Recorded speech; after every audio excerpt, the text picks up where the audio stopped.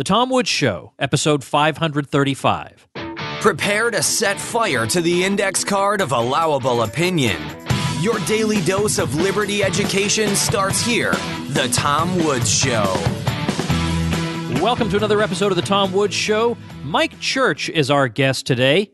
Mike's been a guest a couple of times in the past, and I've been a guest uh, numerous times on his show which up till recently was carried on SiriusXM satellite radio, where Mike was the longest running talk show host ever, ever in the history of satellite radio.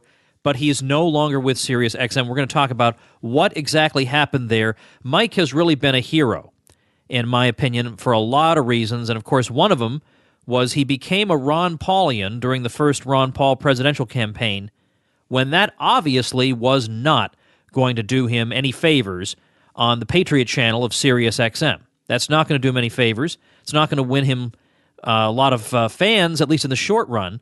While the Ron Paul people are still finding out he exists, his current listeners didn't know what was going on. So it was a case of somebody just doing the right thing because he believed it was the right thing to do. It is so rare to encounter somebody like that. So I'm glad to have him on to talk about what he's up to now with his Veritas Radio Network at veritasradionetwork.com. Before I bring on Mike, let me remind you, good homeschooling folks, I realize I'm speaking to you right now in November and November is not generally a month in which you buy homeschooling curriculum materials. You pretty much make up your mind and you just go with whatever you've got. But if you are if you've reached a point where you say, I just can't manage this anymore. I'm sick and tired of doing lesson plans all day and my house is a mess and I can't keep up with the with the younger kids and I'm just emotionally burned out and I can't wear all these different hats, then forget the system you have now. Yes, you spent money on it, but there's nothing you can do about that now. Chuck it, forget all about it, and check out the Ron Paul curriculum because it's self taught and it'll give you your life back and it'll save you what 70, 80% of the time you're spending running around like a lunatic. And also get $140 worth of free bonuses when you get it through my special link, ronpaulhomeschool.com. All right, let's turn now to Mike Church. Mike, welcome to the show. Tom Woods, great to be here with you, old friend.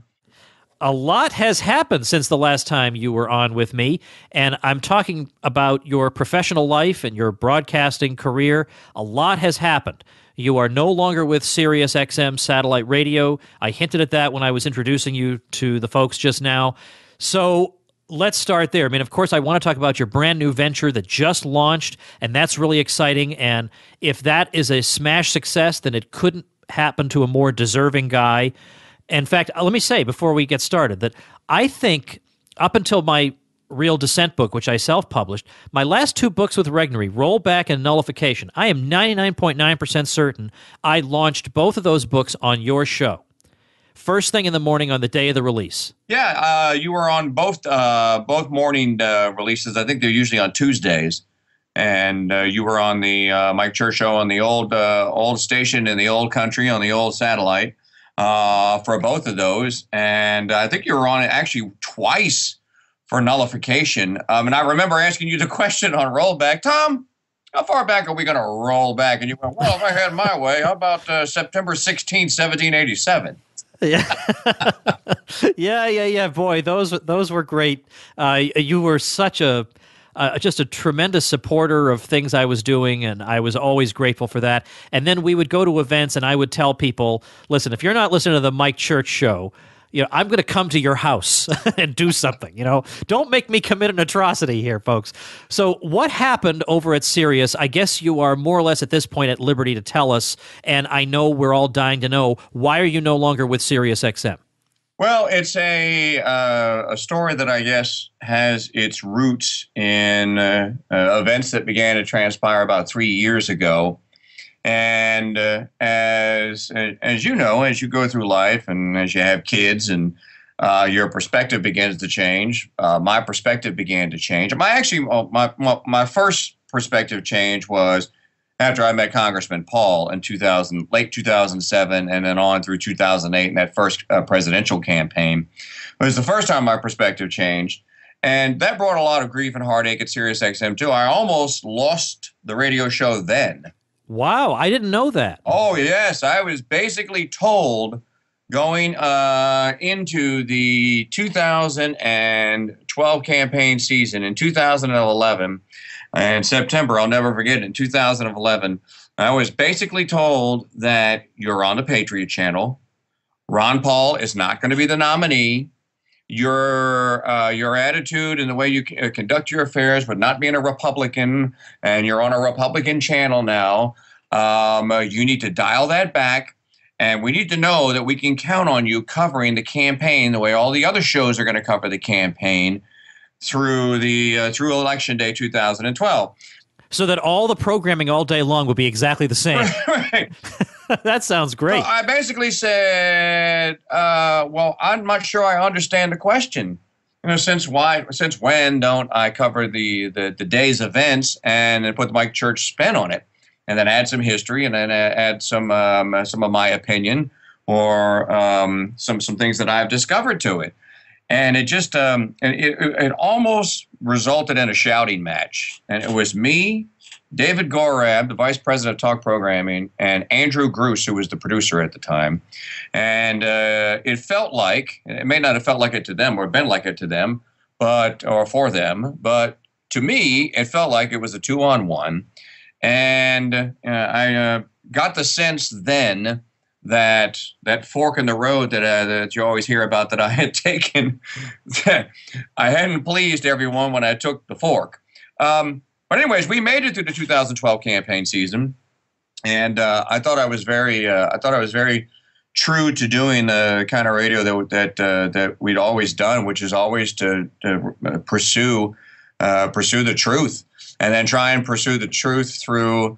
Uh, at that time, it was more uh, centered and oriented to the uh, vision of the founding fathers. You know, founding father this, founding father. Well, that Constitution does this, the Constitution that. Um, after that campaign ended, my religious life began to change, and I got introduced to the Latin Mass. And Tom, that is really the beginning of where where where I am at today. It was the introduction to the Tridentine Rite. Uh, and I, I, actually can thank you for uh, for some of that because of your book, Sacred Then and Sacred Now, um, which had stirred some interest in me. And then I actually found a Latin Mass here. And you made me wonder, what does that have to do with your radio show? Well, because it got me reading and thinking about things differently, and certainly reading different things. Now, all of a sudden, I was reading history that didn't all pass through Independence Hall. A lot of it passed through the Vatican. and you start reading world history then with the view on wait a minute, now there's an awful lot of history out there.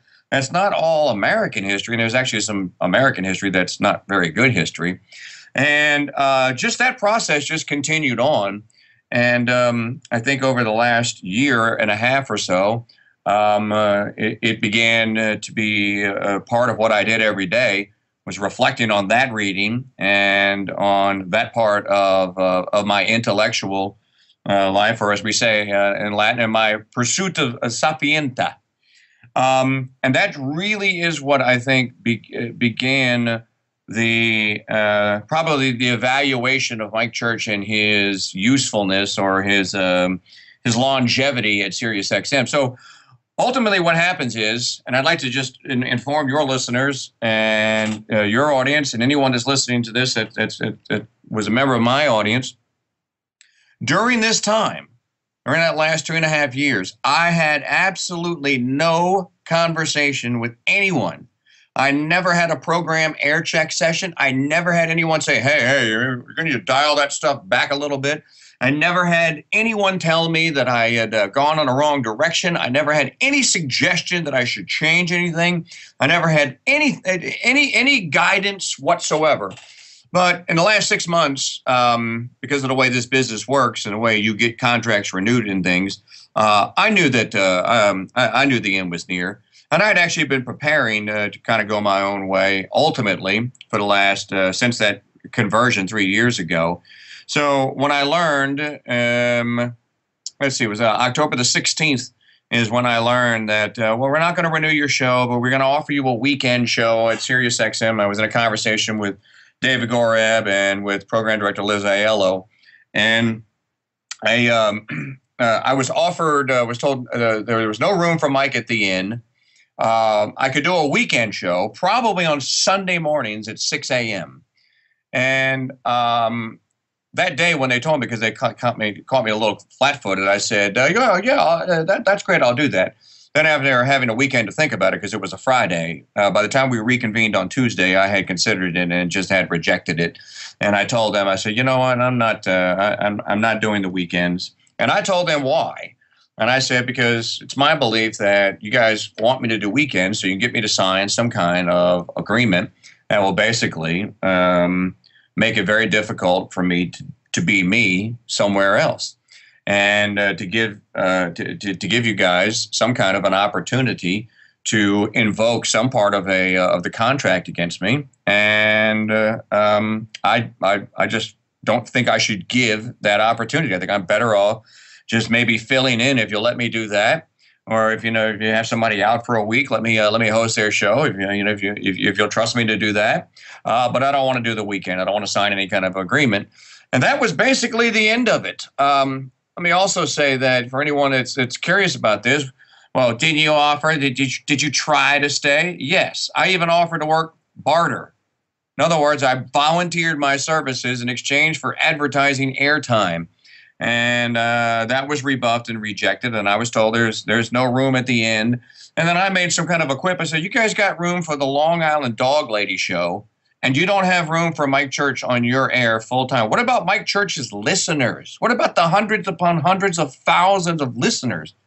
What do we tell them? Well, that's not for you to worry about. Uh, and you're going to be fine. You're going to do fine. And that was basically the end of the conversation. It ended like that. Uh, 13 years, no thank you. Although I did get a, uh, a thank you afterwards from Dave from, uh, from Dave Gorab, and I'm um, I'm glad that he did call me and uh, we had a good a good chat about the good old days. But that's basically how it ended. No room at the end for Mike. No no room for uh, for him to be on any on the uh, air full time, and uh, we split company. They went their way, and uh, now I'm going mine. But uh, I'm very happy about the way I'm going.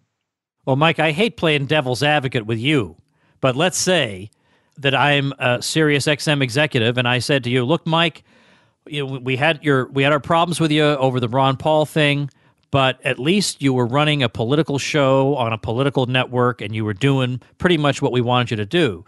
But for you to make your show into Catholic Hour, that's not what we're paying you to do. So, you, you know, even if you think that's the right thing in an abstract sense, it's not what we're paying you to do. So you're out on your ear. What would you say to that? Um, if they if, if if if someone would have said that to me, then I would have taken that professionally as okay. Well, that's a fair evaluation. Uh, now let's let's talk about that evaluation and let's see if it's if it's if it's accurate. And uh, I would say that uh, for the uh, for the most part, that it's not accurate. And I think what the difference is, and uh, this is something that has um, cultivated or has been cultivated over the last four, maybe five decades, and that says somehow this idea here that there has to be this total separation of, of, of church and state, and that this must translate into all facets of our lives. You know the rules, Tom. Uh, it's on your uh, what do you call it? Your three and a half by your three by five index card. Right. This is a rule. You don't talk about religion and politics. And if you do, well, the state's always superior to your little religious code. Well, as you know, and I don't need to inform you, you of this, but uh, I'll speak to others. That is an inversion of the way that man conducted his public affairs um, uh, throughout the, the, entire history uh, since our Lord and uh, throughout all of Christendom.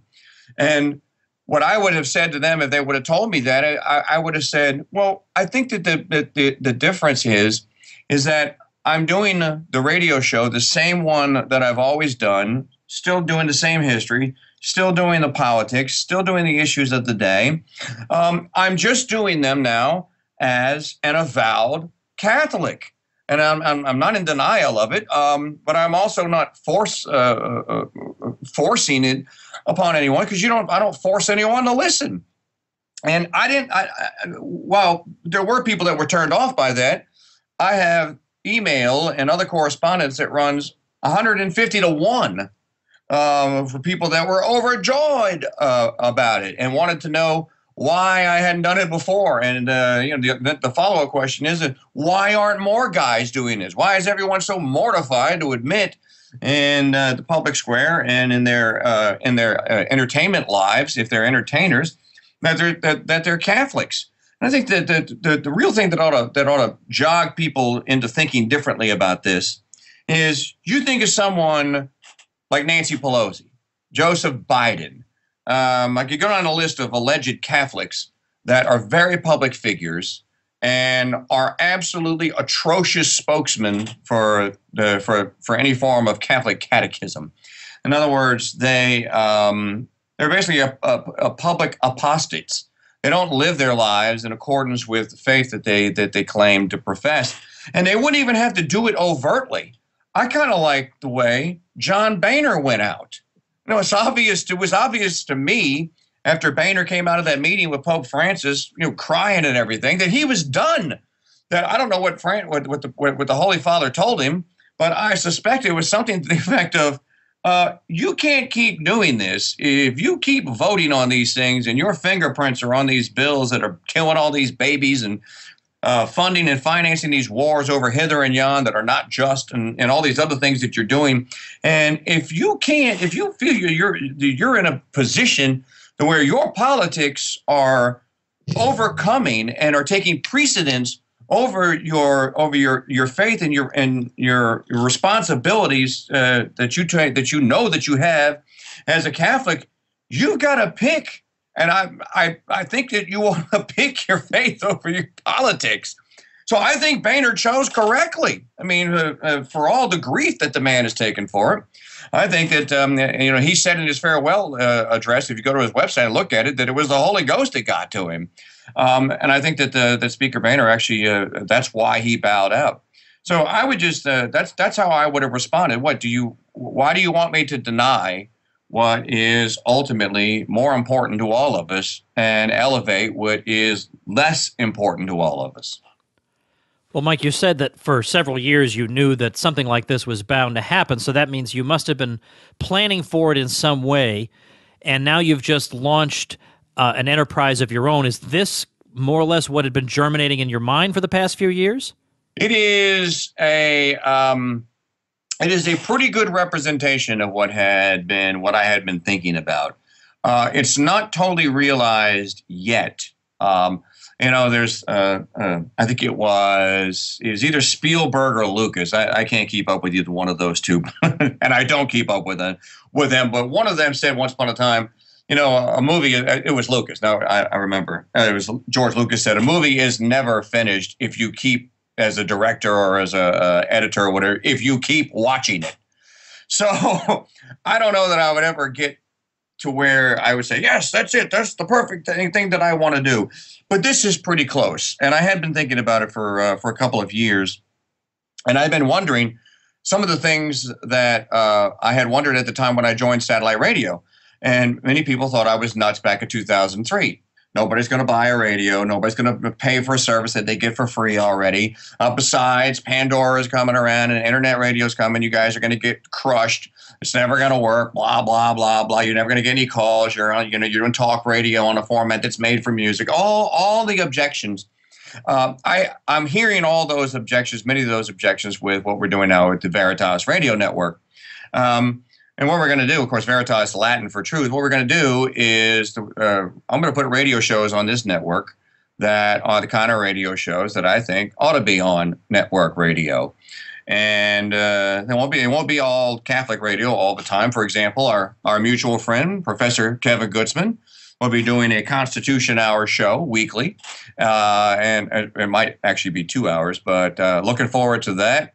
We have a, uh, former uh, NSA agent, a, a former uh, Army intel guy who's going to be doing a fantastic show that I think uh, your friends at LewRockwell.com uh, are, are going to love this show. It's called Reverse Deception. And it's about what the surveillance state is doing and what the surveillance corporate state is doing and how to protect yourself from it. Um, those are the kind of uh, th- those are just two of the shows that we're going to have on our uh, on our Veritas Radio Network. Um, I think we're just going to do radio. And the slogan is radio the way it should be. That we're going to do uh, radio with a focus on truth. And when, when I say truth, I, I mean revealed truth uh, as we can know it and as we can repeat it. Um, but with an emphasis on it also uh, uh being entertaining, but with, but with it being um, I, I don't want to use the word wholesome because then people start thinking that you know it's going to be the, the 700 club and they start running for, running for the hills, but not offensive in a uh, in a vulgar manner because I think you can do all the things that you need to make compelling radio without being vulgar. Um, it's going to be 24 hours a day, seven days a week. Uh, we'll lead where others hopefully will follow, and we will not have any live bodies working on Sundays. Sundays will be uh, it's my good friend Steve Cunningham is going to host a, a, uh, eight hour repeating wheel, just calling his Sunday sermons with Steve Cunningham. He's the uh, Tom, you'd love him. He's the he, he, I call him the world's greatest living non ordained apologist. uh, and uh, we'll actually on Sunday will it will be all Catholic radio all day long, but no one's working. We're not going to have anyone working and that's the way I think that uh, broadcasting ought to be. Anyways, we ought to uh, uh, most things. Remember blue laws? How quickly we forgot there were all these blue laws. Gee, I wonder why those were in effect. Uh, in any event, radio the way uh, it should be. it's going to be exciting. Mike Church Show will be the exact same as it was. Uh, we'll have great guests like you, like Professor Gutzman, like Professor McClanahan, like Professor Livingston. Um, uh, we'll have some uh, uh, congressmen stopping by from time to time. I've already spoken with Congressman Gohmert and uh, Congress uh, uh, Louie Gohmert has uh, volunteered to come by. We have some great writers: Jordan Bloom, uh, David Harsanyi of the Federalist, uh, Michael Brendan Dougherty. Um, who else do we have? Steve Skojec from One Peter Five is an up and comer. Steve will have, have, some role in what we're going to do. we're just going to have a very diverse, very cool, and very original lineup. Well, I'm very pleased to hear the role that Kevin Gutzman will have because I've always felt that the world needs more Kevin Gutzman and it doesn't get enough. I can't say enough about Professor Gutzman's, uh, Kevin's ability to be able to take any issue that has anything to do with federal law, and provided he's had enough time in advance to think about it, to mold it and sculpt it and shape it in a manner that is, number one, very. Uh, um, it's very highbrow, but at the same time, it's understandable. And uh, to put it in uh, in common sense terms, and to make you feel, uh, those of us that study these things, like, man, how stupid am I? I didn't know any of this stuff. You know, it, it, it, almost reminds me of a talk that I watched you give one time, Tom. And uh, you were talking about some this book that Murray, uh, uh, I think it was Diaries of Murray Rothbard. You remember that? Oh, well, let's see. Well, c- continue, and I'll see if I remember. Your memory may be better than mine. Yeah, some some lost files of Murray's that were found and uh, packaged into a book.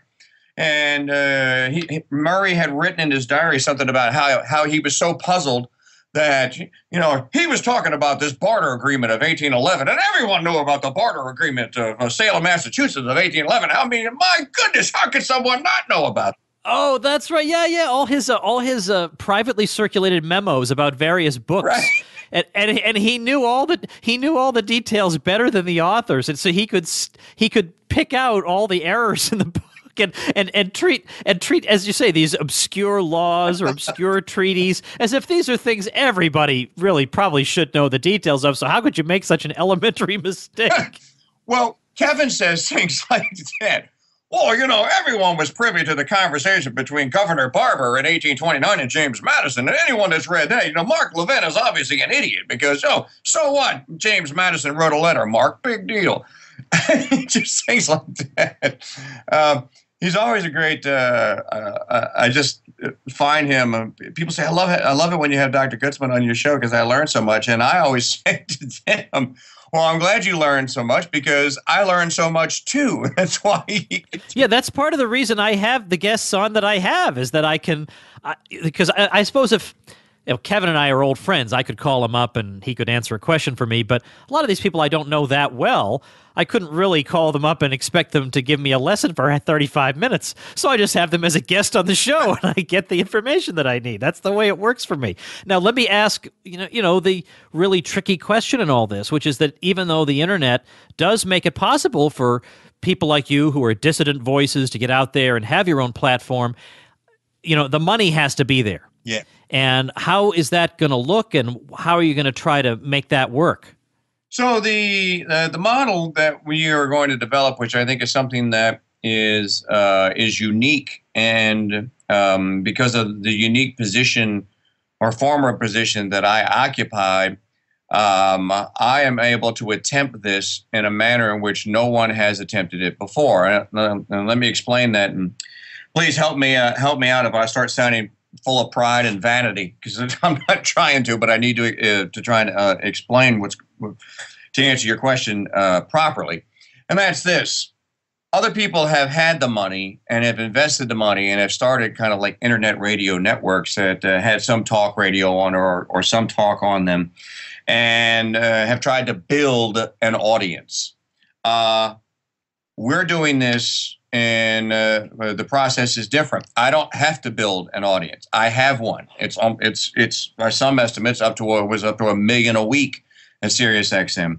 I don't have to build a reputation. I already have one. It's developed uh, being the longest running radio talk show ever in the history of satellite radio, a record that will still stand. And it'll take Andrew Wilkow six more years of doing what he's doing every day to break that record. And I believe he would be the one coming close. I don't have to go out and establish relationships with clients, with advertisers. I already have them. And I've been servicing clients for 10 years. Uh, so all the things that have been that people have tried to develop with internet-based radio and internet-based radio shows, we already have on the Veritas Radio Network because we have the Mike Church Show. So have a great, so we have a a, a, a head start and uh, uh, hit the ground running with they sh- show that people are going to, uh, as, long as it continues in the, in the, manner in which it was being delivered, I think we'll be fine there. Um, our model is twofold one of the things that I could never overcome on SiriusXM uh, was that if you didn't have a satellite radio subscription, there was very little chance, unless you came to an event that I was at, that you would ever hear me speak, or that you'd ever hear any more than a five sec, a five minute clip, which is all we were allowed to promote per day, unless I did something that uh, didn't have anything to do with the satellite radio show. And of course, you know, you just run out of time. You can't do three and four shows a day.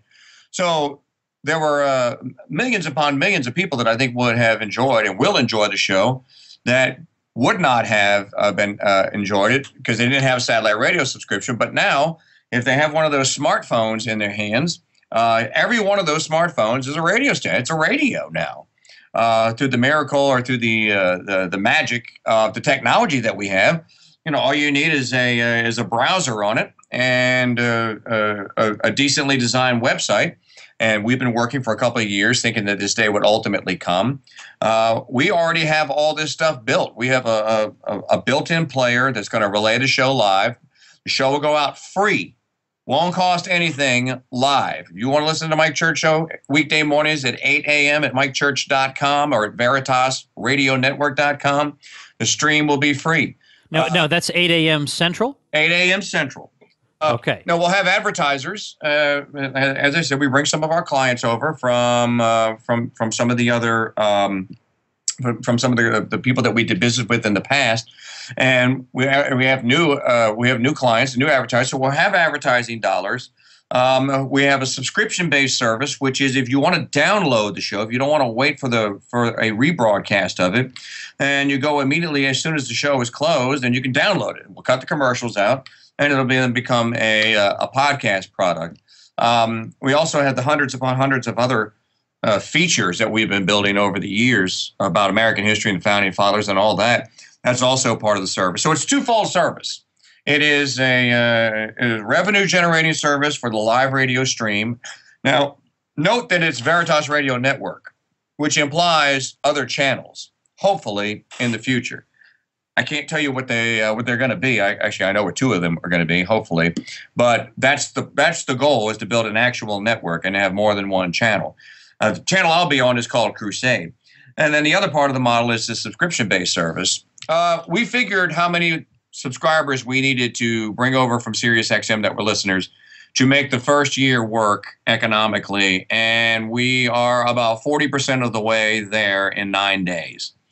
So the future is bright for for that. And as I said, we're uh, hoping to bring something to internet-based radio that was not there before, and that is a talent that people uh, hopefully still want to hear. and uh, it's not that difficult to, uh, to hear it on a smartphone, uh, on a tablet, or on a computer desktop. Well, Mike, I wish you the best of luck with it. I mean, it's on the one hand, as I've sometimes said on here, it's very exhilarating to, you know, to go out on your own and strike out on your own path, as, you know, frankly, I did about five years ago. But at the same time, you know, there is something that's frankly a little bit terrifying about looking ahead to the future and not really knowing exactly where things are going to go. Now, you do have these very positive early indications, but it's a tricky thing you're doing, eh, but yet it has so much tremendous potential. And as I say, I hope it's a smash success for you because you deserve uh, all the successes in the world, not only for the quality of the stuff that you put out, but frankly also for the kindness that you've shown to people like me and to just so many good folks who, in their own way, have been trying to pursue the truth, and you've featured them and built them up on your show. And if there's any justice in the world, they will come out of the woodwork and support you in your new venture. So, again, uh, glad to talk to you as always, and uh, I'll check in with you and see how it's all going very soon. Well, Tom, thank you very much. And uh, uh as always, you'll you're now that I'm on at a respectable hour and you're awake. so. I know.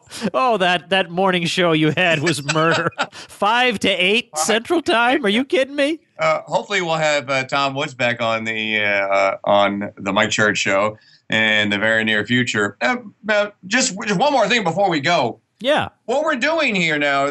This is uh, people. I, I've been asked. So you're doing a podcast? Well you can get it as a podcast, but no, I want people, just like we did with satellite radio, I want people to think that when you want to listen to what Mike thinks he's on, all I got to do is pull my phone out or sit down on my computer desktop.